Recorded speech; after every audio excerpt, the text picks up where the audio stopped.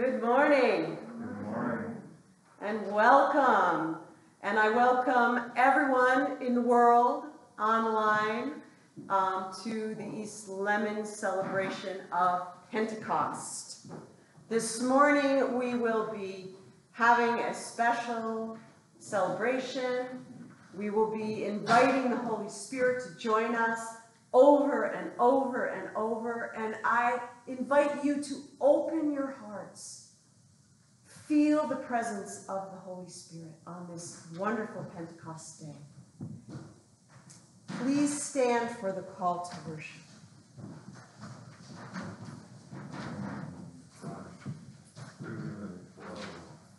here with one accord.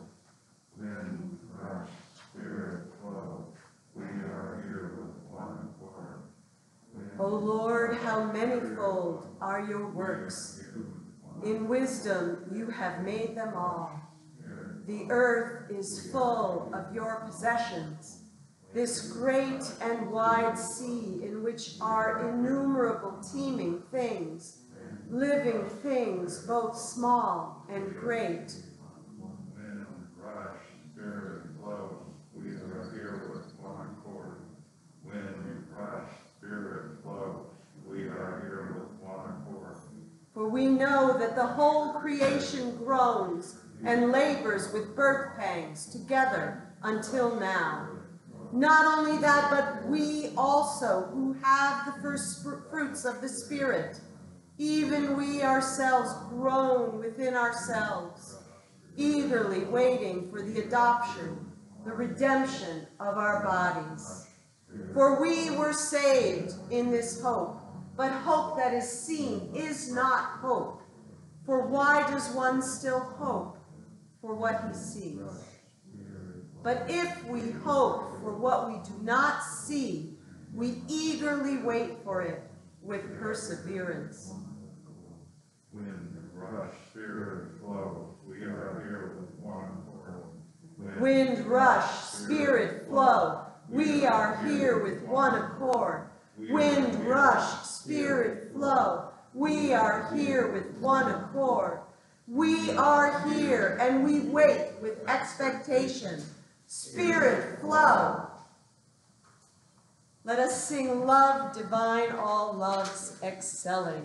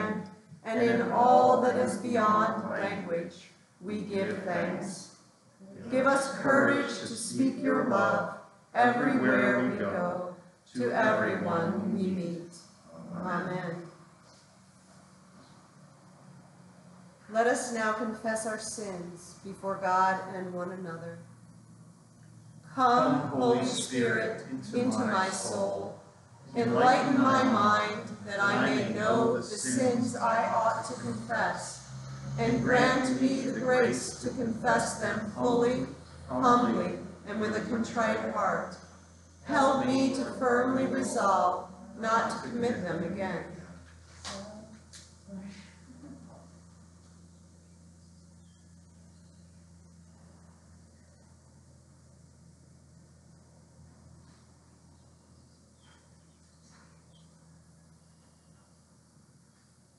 Hear these words from God, spoken by the prophet Ezekiel.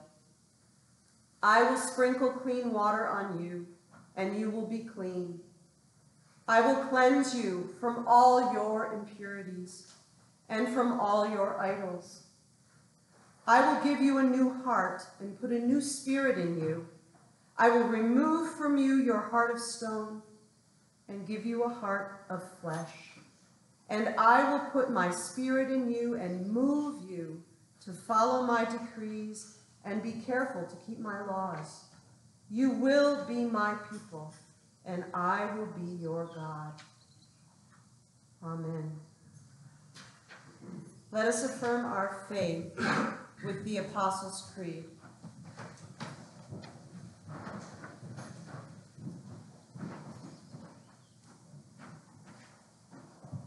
I believe in God, the Father Almighty, maker of heaven and earth, and in Jesus Christ, his only Son, our Lord, who was conceived by the Holy Spirit, born of the Virgin Mary, suffered under Pontius Pilate, was crucified, dead, and buried.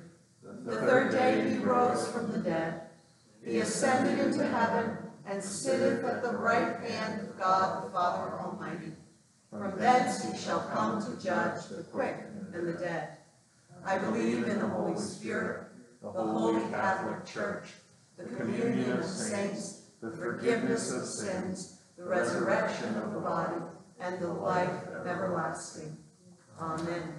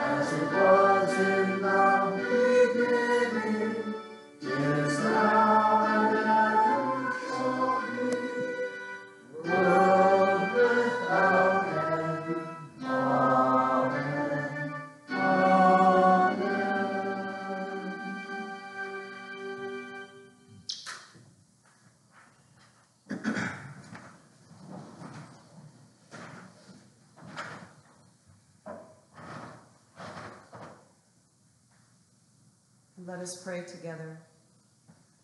Come, Holy Spirit, fill the hearts of your faithful. Kindle in us the fire of your love. Send forth your Spirit, and we shall be created and renewed. O God, instruct our hearts by the light of the Holy Spirit. Grant us in the same Spirit to be truly wise.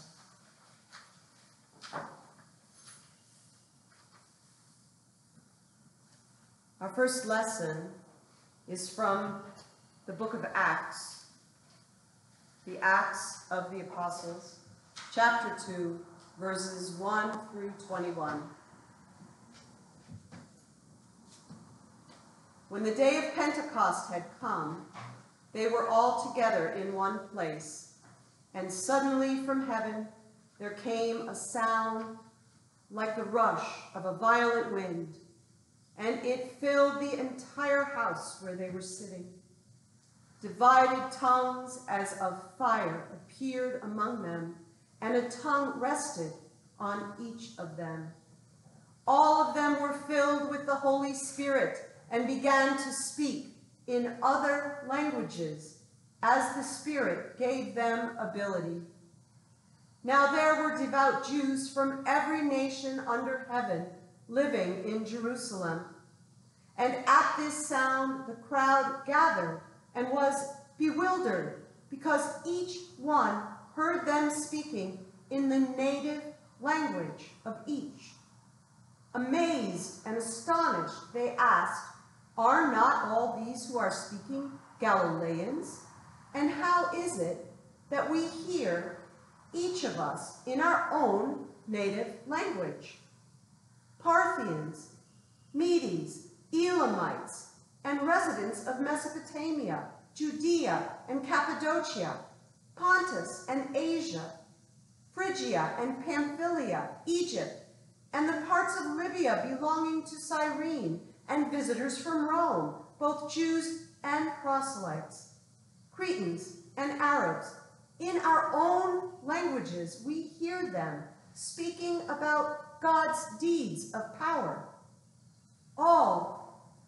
Amazed and perplexed, saying to one another, What does this mean? But others sneered and said, They are filled with new wine. But Peter, standing with the eleven, raised his voice and addressed them. Men of Judea and all who live in Jerusalem, let this be known to you and listen to what I say. Indeed, these are not drunk, as you suppose, for it is only nine o'clock in the morning. No, this is what was spoken through the prophet Joel.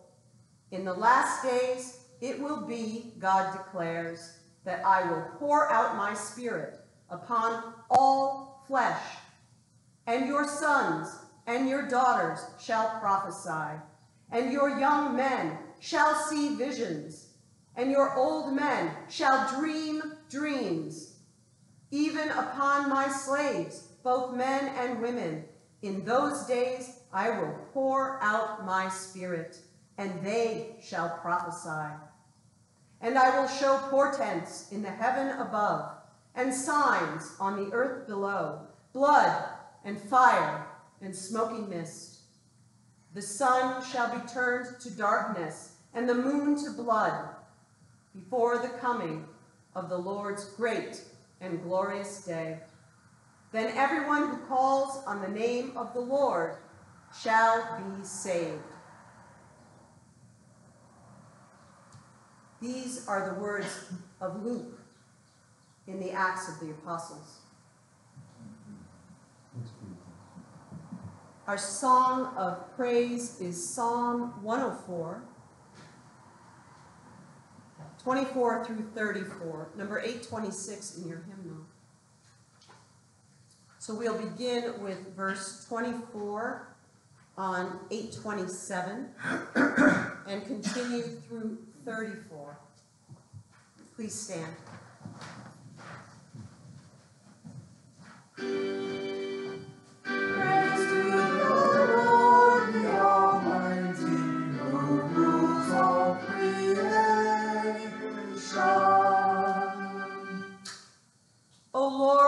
How manifold are your works! In wisdom you make them all. The earth is full of your creatures. Yonder is the sea, great and wide. Creeping things innumerable are there, living things both small and great. There go the ships and Leviathan, whom you formed to play in it. These all look to you to give them their food in due season. When you give to them, they gather it. When you open your hand, they are filled with good things. When you hide your face, they are dismayed. When you take away their breath, they die and return to dust.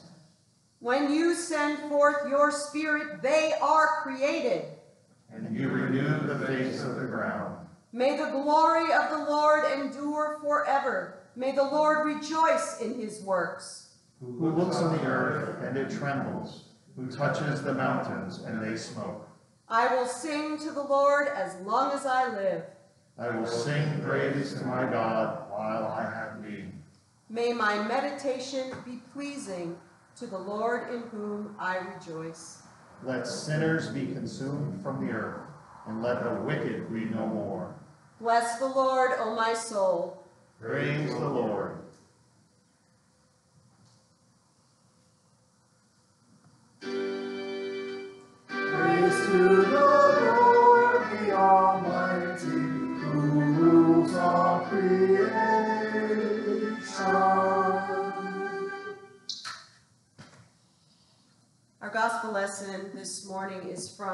Gospel of John, chapter 15, verses 26 and 27. When the advocate comes, whom I will send to you from the Father, the Spirit of truth, who comes from the Father, he will testify on my behalf. You also are to testify, because you have been with me from the beginning. The word of God for the people of God. Thanks be to God. May be seated.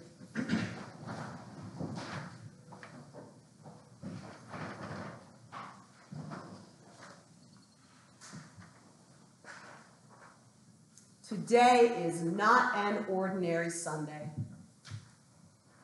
It is a very, very special day in the year of the, of the church, in the liturgical year. It is Pentecost, and we wear red because on Pentecost, we thank God for the Holy Spirit, that God has sent the Holy Spirit down onto the earth, into us, into our lives, to shape and form history, the path of humanity, and move us toward the kingdom of God, which is here and not yet.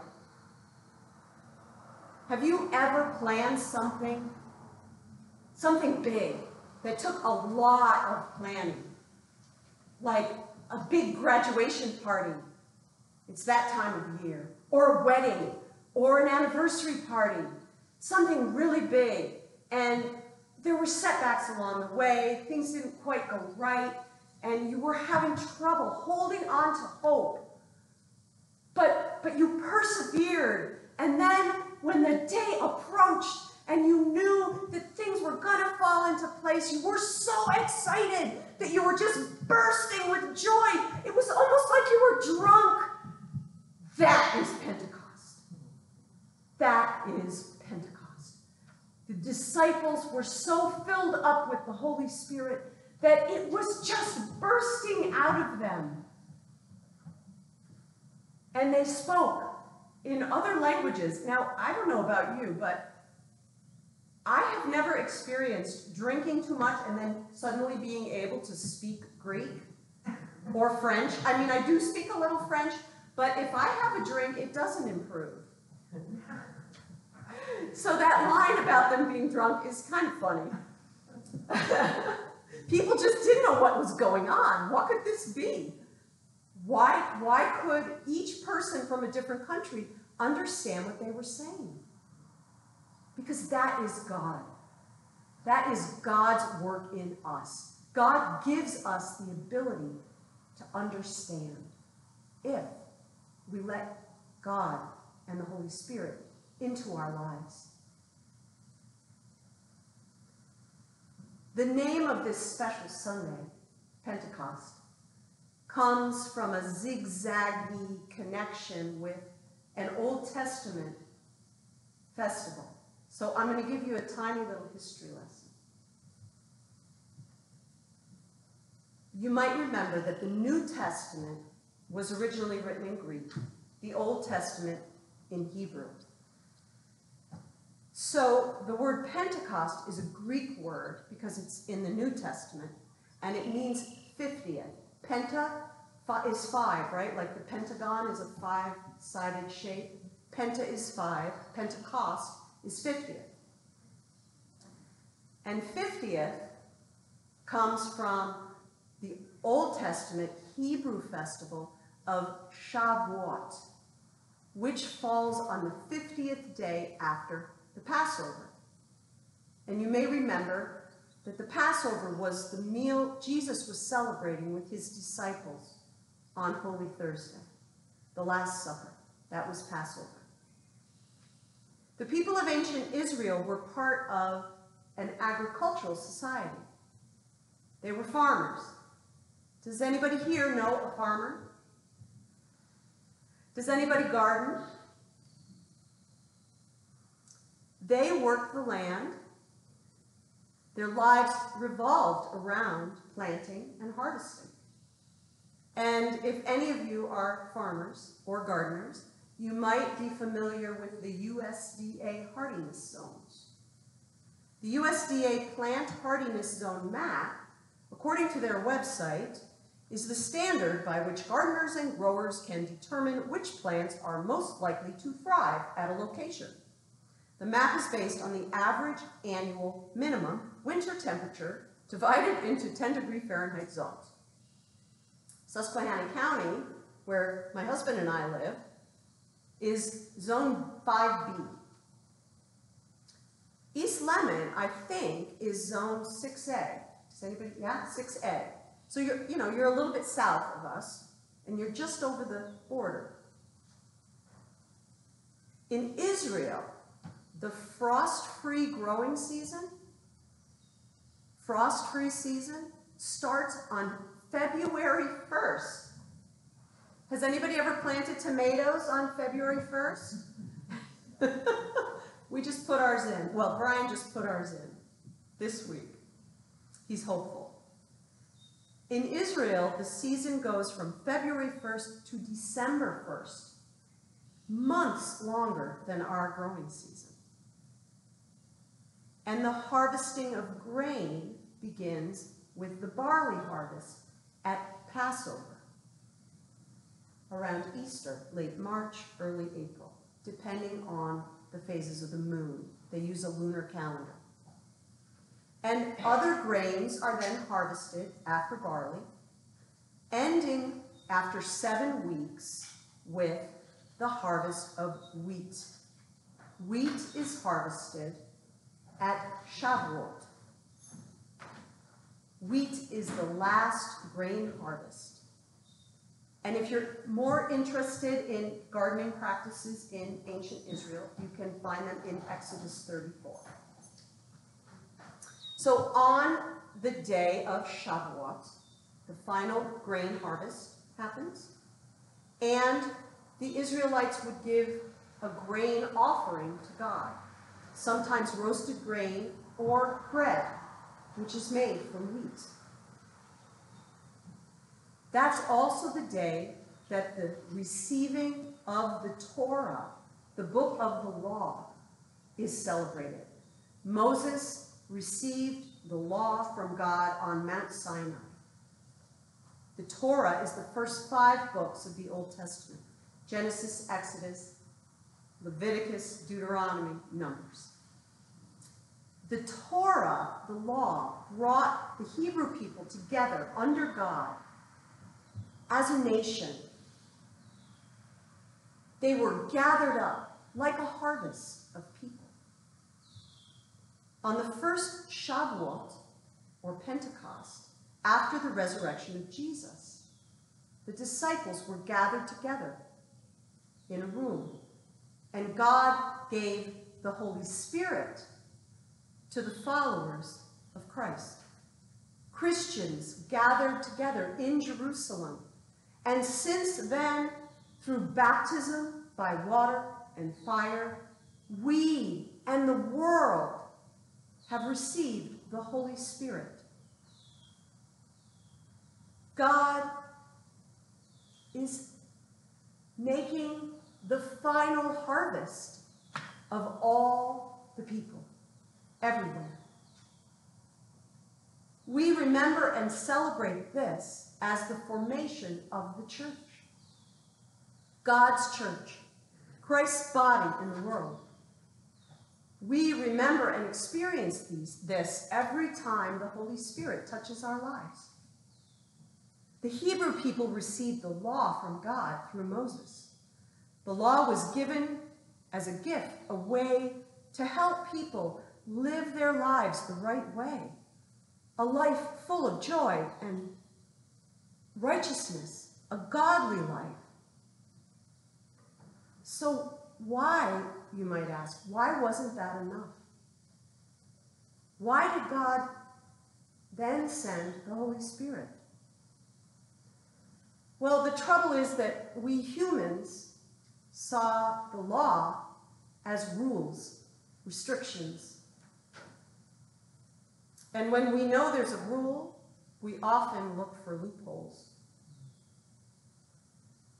So there was a tendency to treat the law as a restriction rather than a gift. That wasn't God's intent. God's intent was that we follow the heart of the law, that we love God and love our neighbors.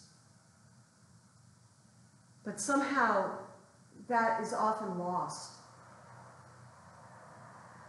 So, first, God came down to earth as flesh and lived among us. Jesus, the Christ, showed us how to live, how to interpret the law through love. And when Christ ascended into heaven, he sent the Holy Spirit, which he called the advocate, our advocate, our guide, to help us. We received the Holy Spirit from God through Christ. The Holy Spirit helps us to understand the law on a spiritual level, not a legalistic level, not looking for loopholes, looking for love. The spirit or heart of the law can be found through the Holy Spirit. Right living through connection to the Holy Spirit. Have you experienced the presence of the advocate, the Holy Spirit in your life? Has there ever been a time when a scripture was read and it went right through you and your heart was strangely warmed? Or you felt this tingling like God was talking to you? You were pierced to your soul? For the next several weeks, we're going to be talking about the Holy Spirit in people's lives. I invite you to think about this. And if you want, if the Holy Spirit moves you to share a testimony, to come up front and talk about, or from your seat, talk about what God has done in your life, how the Holy Spirit has been present for you. If anyone feels moved to testify right now, I invite you to do that.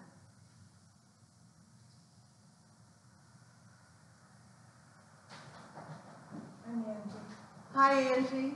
Um, I was in addiction for a long time, and, um, God has, uh, come into my life, and he was with me the whole time I was in my addiction, and, you know, I prayed the whole time, but, um, he watched over me, and he saved me from many things.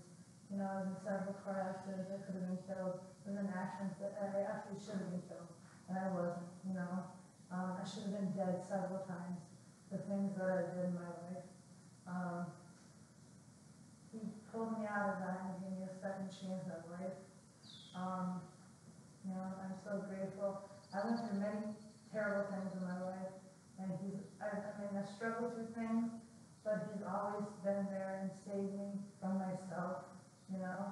Um, and like, I have a spirituality now. I always believed in Jesus and I always prayed, but like, I have a level of spirituality now. I don't know if you know what I mean. I But, um, like, I I know that he has me now.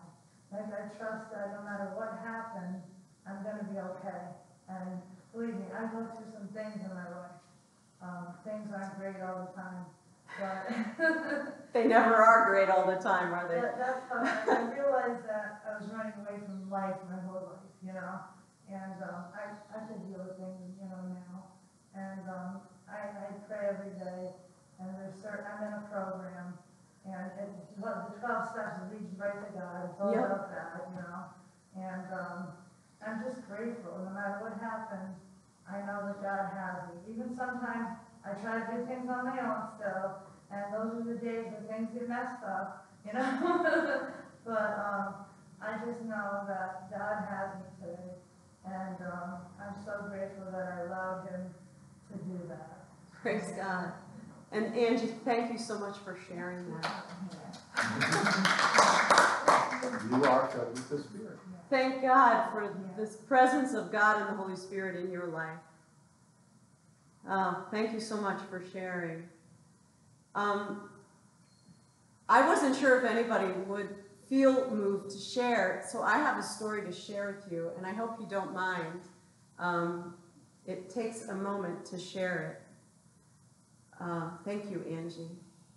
So I want to share with you uh, the story of how I ended up going to seminary. I'd always been active in my church, but I'd been feeling that God wanted me to do more, and I, I just couldn't believe like more. I was I felt like I was doing so much in South Gibson in the church. And then during Lent in 2017, Margie McCarty was our pastor. Many of you know her. And uh, she was terrific. And at the beginning of Lent, I had this amazing dream, which I'll tell you about another time. That was Ash Wednesday night. And then on Holy Thursday, she was preaching in Gibson, and I was sitting in the back with my husband. And she read the scripture, and right before she started to preach, a vision popped into my head. This picture popped into my head of our children's table, this table. And I was sitting at it on a street corner. And I was serving, it looked like bread and juice on a street corner. I knew I was on a street corner because I could see uh, an overpass behind me.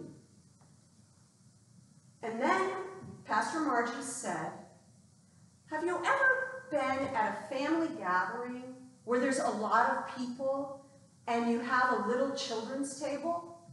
And I thought, Oh, shoot. what the heck? This, what is going on? This must mean something. Uh, The thing popped into my head before she said the words. Okay, okay, I better pay attention. is this God? Am I going crazy? And then she preached on Luke, the story of the great banquet, where a man plans a big party and invites a bunch of people, and when the day comes, they don't show up. So he tells his servants to go out in the streets and invite everybody the poor, the lame, the undesirables, the people that nobody ever invites to a party. And they came because the first shall be last and the last shall be first. And I sat there and for weeks I thought, what, what does this mean? Does God really want me to take this little blue table and sit on a street corner?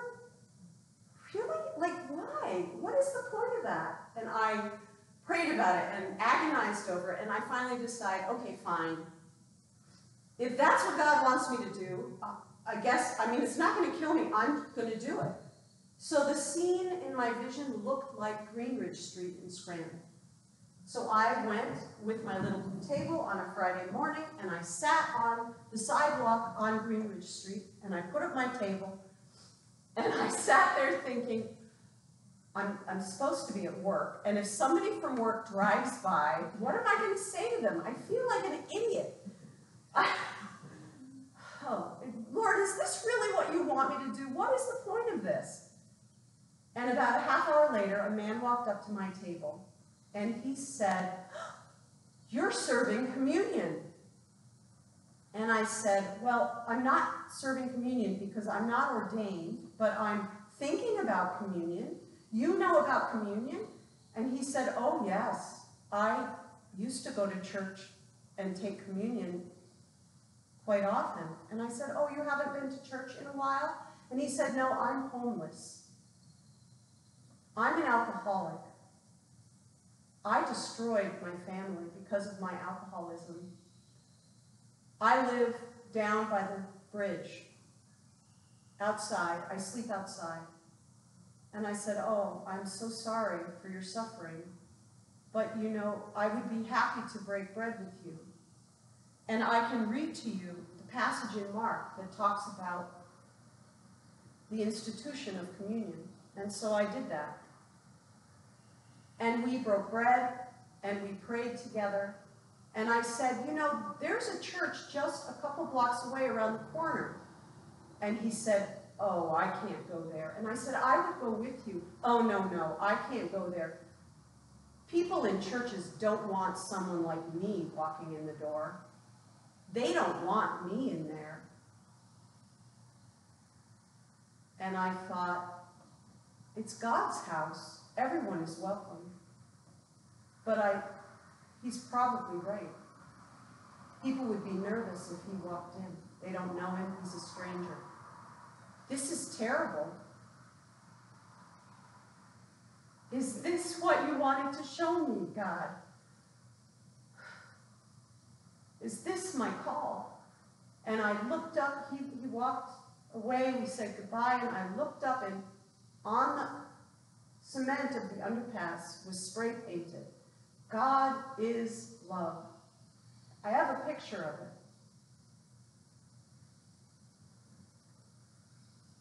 That was in May, and in August, I applied to seminary, in, or in July, and I started seminary that August. Because I felt that God was telling me that we have got to open the doors of our churches. We have to get out there and make sure that everybody knows that God loves them and they are welcome in God's house. No matter how many mistakes they've made, no matter how bad they are, it doesn't matter.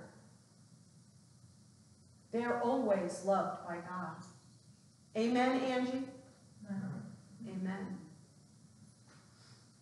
We are all sinners. We've all made mistakes, big and small. We all have regrets. And God always welcomes us back again and again and again and loves us. And we are all called to ministry. Each one of us has a job to do. They're not all the same job. I am called to outreach, to reach out to the lost, to the ones that think God has rejected them. He hasn't. As the Spirit is poured out into each one of us, we're all directed in the same direction to turn the world into the kingdom of God. Have you ever seen sparrows in flight, a flock? How they all fly up and then they fly together like the rushing of the wind, each one going according to what God directs them to do. That is the work of the Holy Spirit in the world. When you feel like God is telling you, you should do this, that's because God has a plan. There's someone else who's being told to do something else. And if they do what God asked them to do, and you do what God asked them asked you to do, and the other person does what God asked them to do, it all works together. And none of us sees the big picture, only God. God has a plan.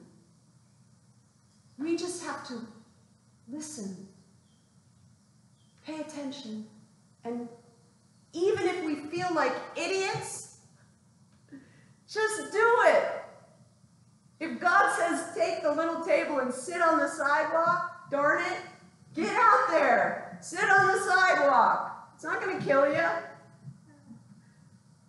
And something amazing might happen. God might send someone into your life to show you a new direction. Are you ready to accept the invitation? Are you ready to listen to the Holy Spirit? Welcome the stranger. Welcome the ones that the world rejects and love them. Not because they deserve it. I don't deserve it. Because God gives it. God loves each one of us. Stay in formation like the sparrows. Swallows, sparrows, those birds that do that thing. Stay connected to the Holy Spirit and fly with the wind. And get ready for surprises. Amen. Amen. Our hymn is I am the church, you are the church.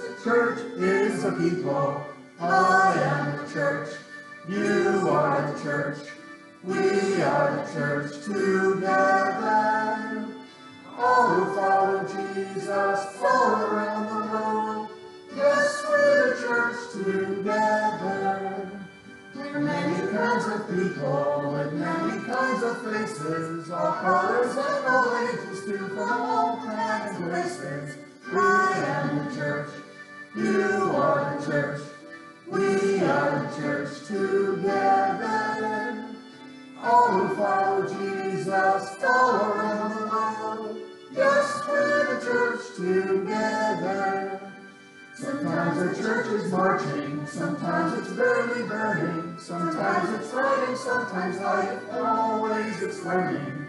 I am the church, you are the church, we are the church together. All who follow Jesus all around world. Yes, we're the church together. And when the people gather, there's singing and there's praying, there's laughing and there's crying, sometimes all while it's saying, I am the church, you are the church, we are the church together. All follow Jesus all around the world, yes, we're the church together. At Pentecostal people receive the Holy Spirit and told the good through the world to all who would hear it. I am the church, you are the church, we are the church together. All who follow Jesus all around the world, yes, we're the church together. Amen. You may be seated.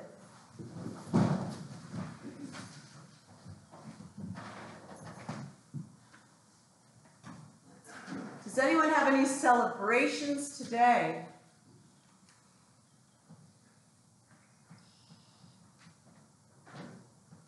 Jeff. I Celebrate singing that song because it kind of came up with Nancy Stoner.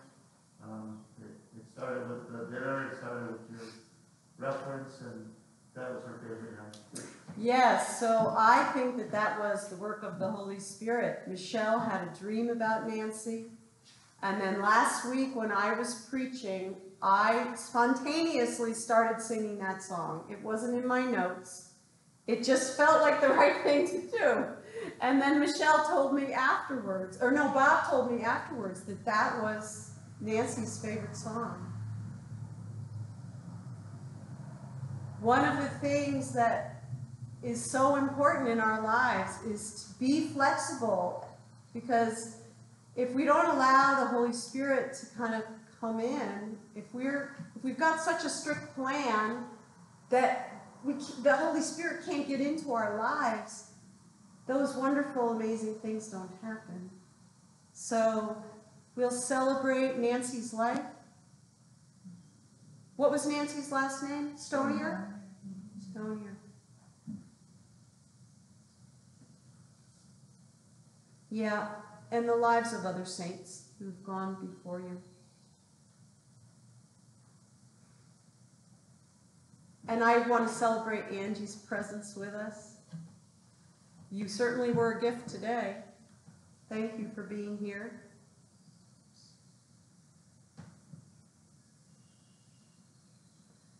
Do we have any concerns? Oh, Bob? I, I don't, I've been talking to Michelle this week, but just about her, her father, and hopefully everything's gone well for her surgery. Yeah, I, I sent her an email and told her, you know, I, I, I'm realizing how much the churches around here, the people are connected to each other. I guess many of you know Ellen Otten and Ellen and Stewart. Um, she is in a covenant discipleship group that I started at Mehoopany. And she, when we met on Thursday, she asked that we pray for Dale. And I said, Oh, Dale Shotwell. And she said, Yes, he's having surgery. Did you know that? I said, Yeah, his daughter Michelle goes to East Lemon. Oh my goodness. so we prayed for Dale. And Michelle said he's doing quite well.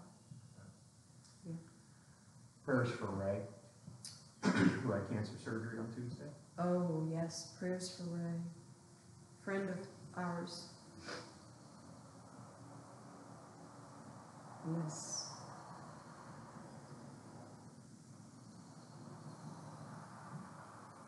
Anybody else?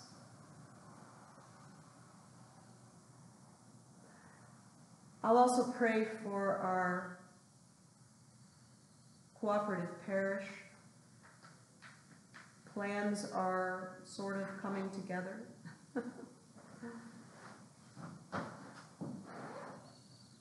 Pastors are being appointed and things are getting organized, so we can pray for that. Anything else? Let's go to the Lord in prayer. Lord, we thank you that you never give up on us. You sent the law to guide us, but we insisted still on going our own way. So you sent Jesus Christ and the prophets to teach us, to help us understand why your way is the best way.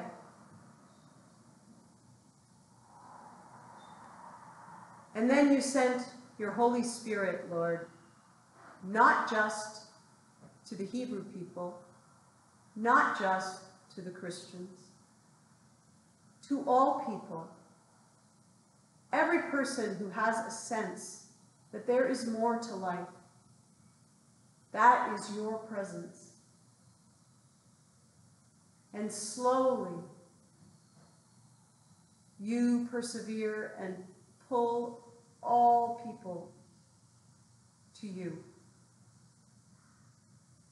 Ever so preciously. We give you thanks for the wonderful, wonderful people in our lives, the saints who have guided us, who have shown us a better way. We remember especially today Nancy Stonier, and we celebrate and give thanks for her life.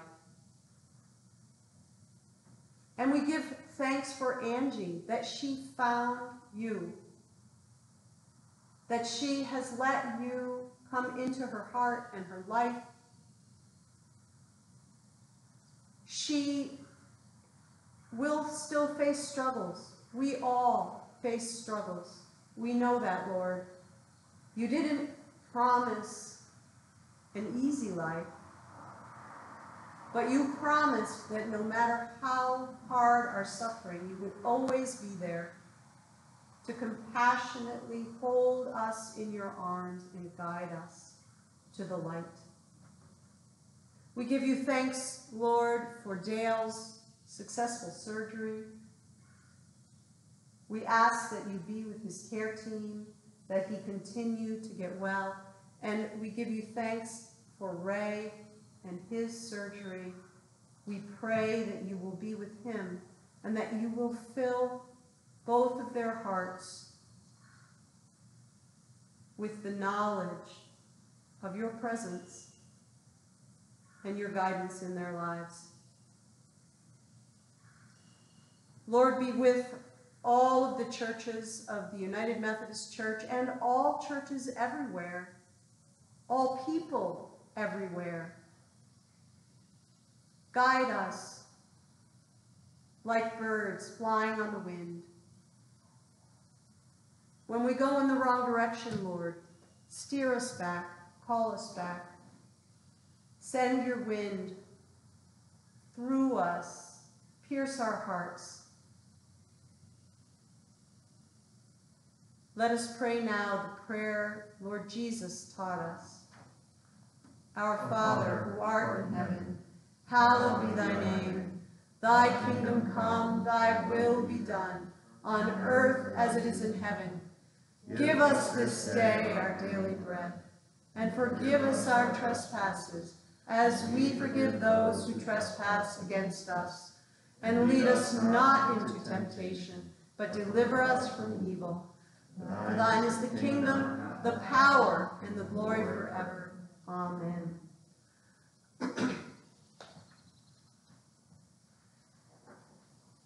And this is the time when we give back to God a portion of what he gave us.